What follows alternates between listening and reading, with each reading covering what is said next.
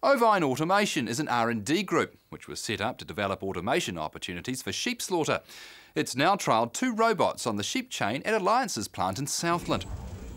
The work is supported by nine industry shareholders, the Ministry of Science and Innovation and MIRINZ Inc., jointly owned by the Meat Industry Association and Beef and Lamb New Zealand. Ovine Automation Limited is a consortia between nine industry meat companies and the Ministry of Science and Innovation. Its purpose was or is to develop um, robotic technology, automation for the um, New Zealand meat industry um, and specifically for the shareholders, the nine sh industry shareholders. When Ovine Automation Limited was originally received, one of the prerequisites was that it had to be a step change in the technology. It had to be something that no individual meat company would have taken on by themselves in terms of the level of risk and the financial commitment required for them to do that. There's a number of major reasons why um, meat companies felt that they needed to do this research. Obviously labour plays an important part in our industry. Labour is becoming difficult to attract, uh, both in terms of quality and quantity. A lot of the jobs that we're targeting are heavy lifting jobs, high incidence of injury and so forth. So the companies are very keen to address that, and ensure that the OSH and compliance levels are there. And improvement of quality, pelt removal, improvement of pelt quality, also improvement of compliance and general hygienic standards. Ovine, when it was conceived, we were able to bring in two R&D partners in IRL, Industrial Research Limited and Milmeq. And one of the big strengths that OAL has is its ability to unlock the institutional knowledge that exists within our industry. So we've got lots of institutional knowledge and we've been able to take that institutional knowledge and line it up with our R&D providers. Um, whereas in the past, I think a lot of the R&D had been around um, individual R&D companies thinking that they were doing what the industry wanted, um, whereas in fact they perhaps weren't.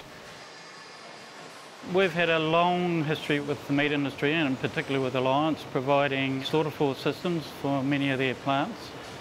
Most of the Alliance slaughter floors and, and in particular at here we have quite an amount of technology in terms of pelt pulling machines, uh, final pullers, hide pullers, um, and we also provide the complete conveying systems from start to finish to enable the processing. The two robots have been developed to automate some key tasks on the chain, the brisket cutting and the evisceration of the carcasses. Both of those jobs require a number of people to do that and have hygiene aspects around them and the robots have been developed to automate that process. The trick is getting the machines to adapt to the varying carcass sizes and carcass conformation, which requires a lot of development to get them successful. Understanding the variability within the carcass, and the key to that is having significant involvement from the processors, particularly the slaughter floor operations guys who help us understand as we develop the machines uh, where we're going wrong in terms of addressing all those variability issues. The bit of kit that we've got out here is actually not new. It was actually designed some 25 years ago.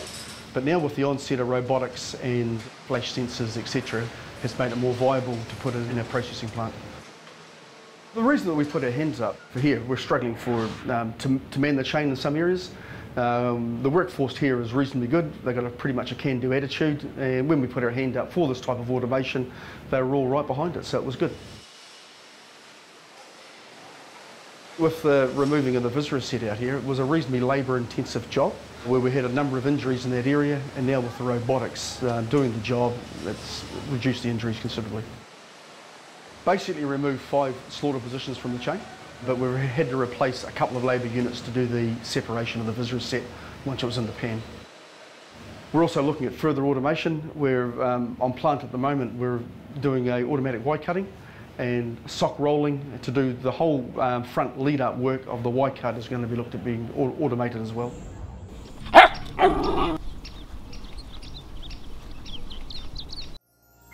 This program was made with funding from New Zealand On Air.